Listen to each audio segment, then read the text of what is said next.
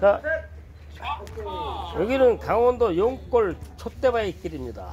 오늘 산들남 TV 지드러고 오늘 나들이 나왔습니다. 좋습니다. 경치 좋고 3쪽 3쪽 그거랑 3쪽 저 뒤에 바다 전경이 기가 막힙니다. 하지만 얼굴이 좀 작아.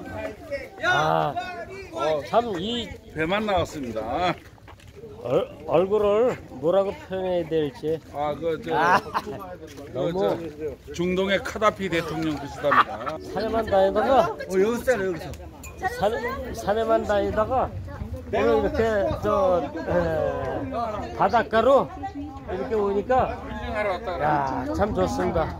약속 주의 비춰줘야죠 안내 표지판이 아, 곳곳마다 아 정신병원에 보내야 되는데 제가 내가 아니 내가 껴야 이런 뒤에 보이는 곳이 촛대바위입니다. 야 뒤에 사람 가자 자나 언니 독사진 여기 얼굴 보세요. 예, 들고 있으라 그래. 우리. 자, 우리 이거 찍고 먼, 아. 아니 얘 먼저 한 장 찍어. 유광호 우리 그저 저이 있어 영태. 영태야. 카다피 중동의 잘 잘생긴 남자.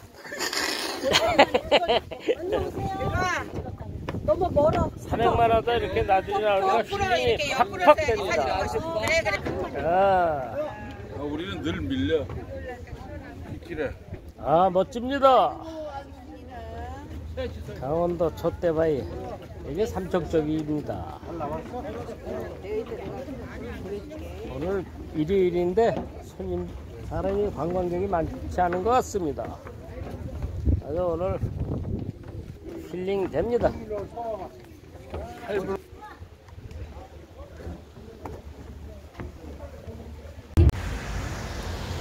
여기는 스카이밸리 해랑 전망대입니다.